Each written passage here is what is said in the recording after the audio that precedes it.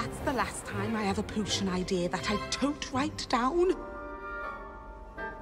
Shouldn't there be Aurors or someone from the Ministry guarding the school after the incident in Hogsmeade?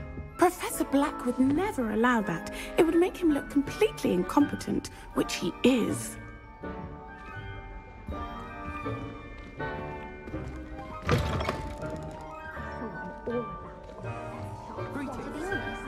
Anything I could get from Diagon Alley. Revelio.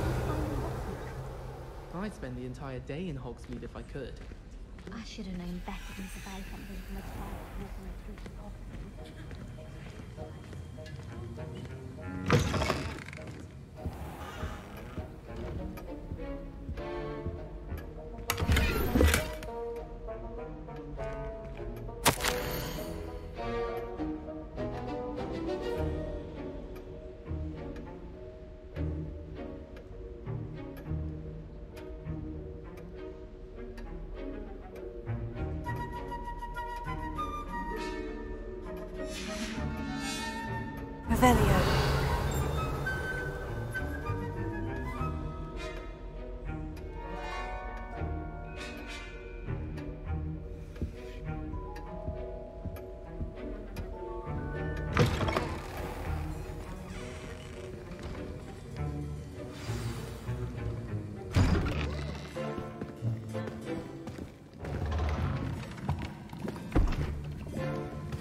Potions is one of the most challenging and hazardous subjects taught at this school. As fifth years, you will be required to reach new heights of both discipline and intellect. You will begin this term by brewing a Wiggenweld potion. Mr. Thakkar, can you tell us why this particular potion might come in handy? Yes, Professor Sharp. The Wiggenweld potion can be used to sterilize and even heal a variety of injuries. It can heal some injuries, but not all. Points for Ravenclaw. Before today's class is completed, each of you will have brewed a Wiggenweld potion of your own. You never know when you might need it. Please begin.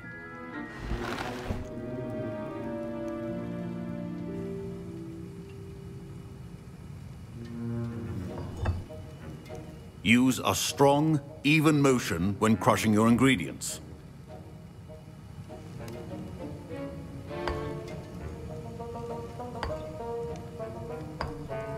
Please be meticulous when adding powder to your potions. One errant sneeze could be disastrous.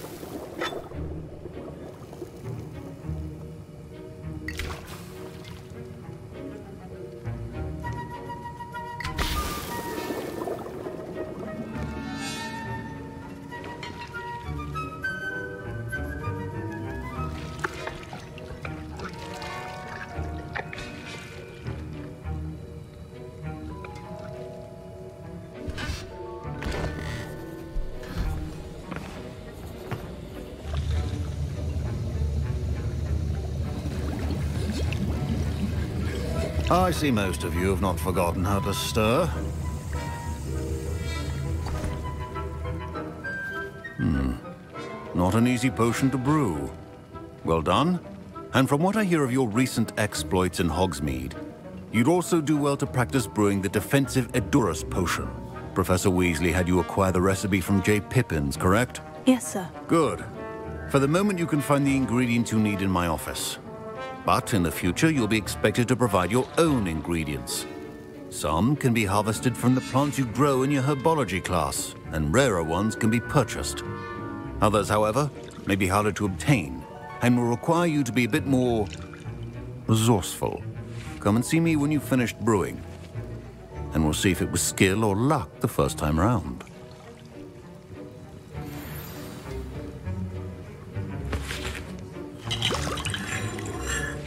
Sharp said that Wiggenweld potion can treat injuries. Hope I never need it.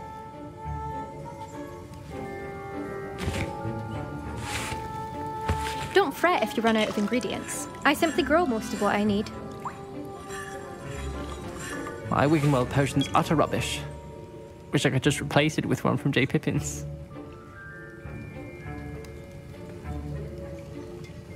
My parents considered keeping me home from school this year after the rumors of a goblin rebellion. Fine job brewing your first Wiggenweld potion. But there are many potions yet to learn. This is going to be a busy year. Did I hear Professor Sharp say that you have permission to go into his office?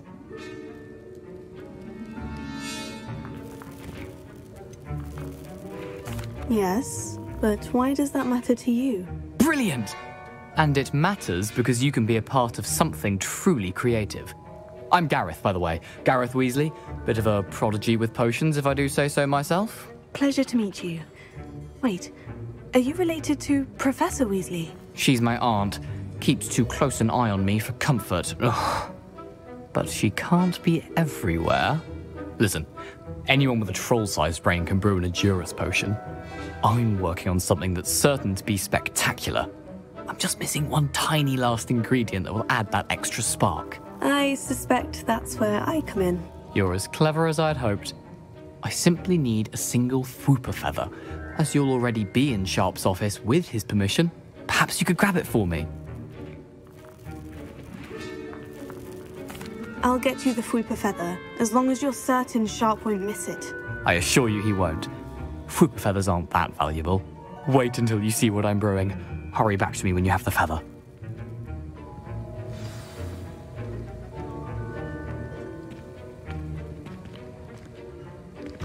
Keep your potion stations organized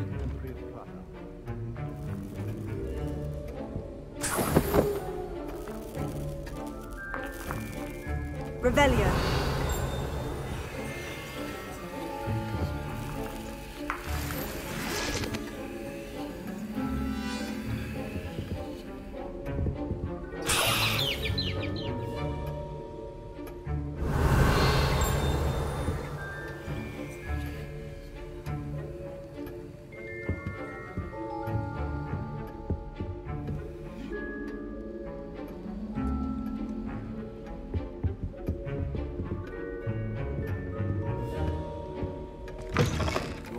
Should not be that color, Miss McDowell.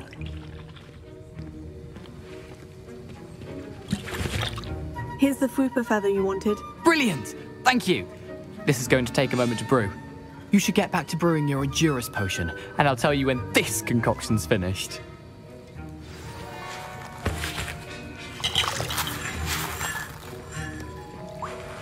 Should you chop the Dittany or crush it? Wrong answer could result in the unfortunate loss of your eyebrows.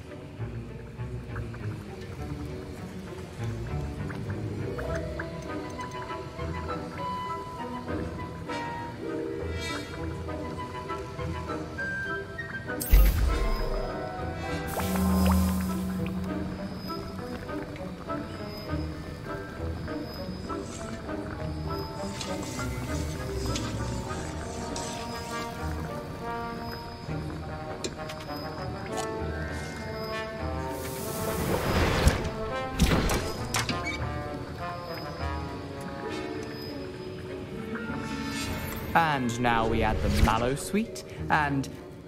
That's odd. What's happening? Wait, it's not supposed to... Ah! Get it!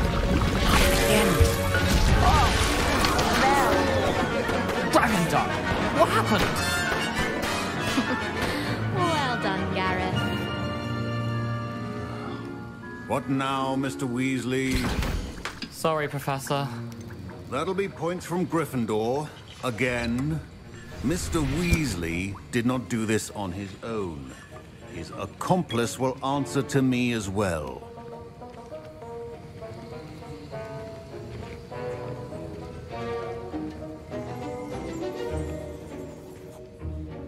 I brewed an Edurus potion, as you asked, Professor. I'm surprised you had the time. You seemed rather busy helping Mr. Weasley brew chaos.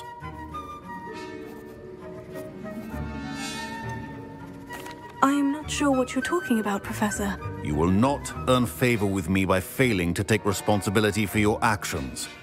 I suggest you heed my warning. As for the work you did today at your own cauldron, I will say you've done well. I confess I was skeptical given the advanced nature of this class and the fact you're a new student. I'm glad I was able to meet your expectations. A rare occurrence. And you do well to remember that you're not a potions master quite yet. In addition to having a solid grasp of how to combine various ingredients, you should gain an understanding of the ingredients themselves. Pay particular attention in herbology.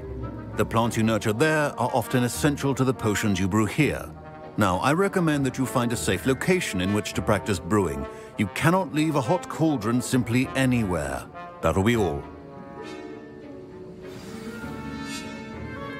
I think each of us has had enough excitement for one day. Class is dismissed.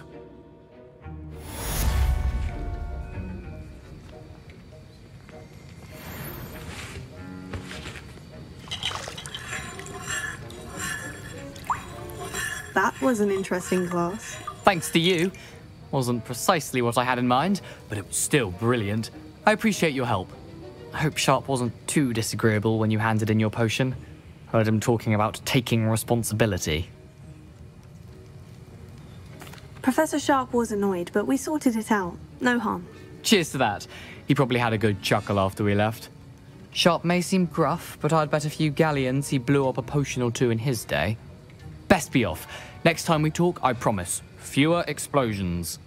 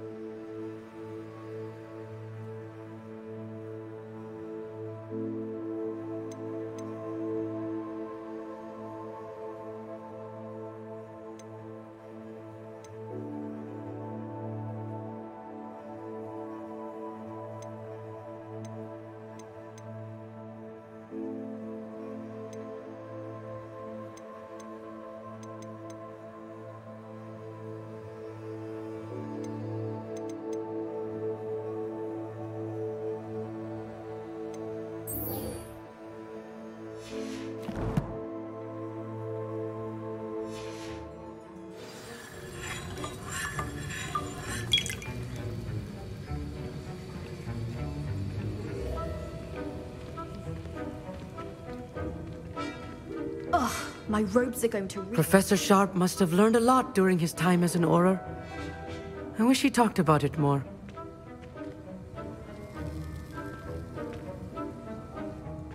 I was impressed that you were able to answer Professor Sharp's question about the Wiggenweld potion. Oh, you're the new student. I've heard much about you. Um, thank you. I'm Amit, by the way. A pleasure, truly. And I've never seen anyone brew such a flawless Wiggenweld potion on their first try. Well done.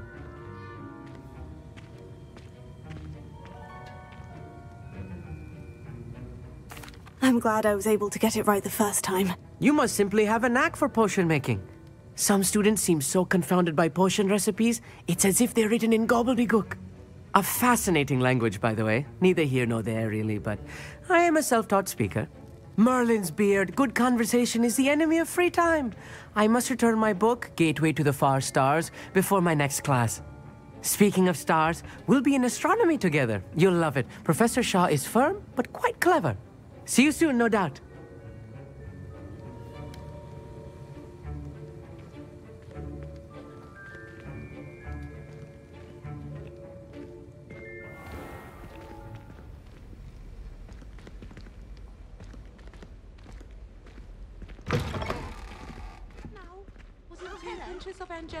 Three?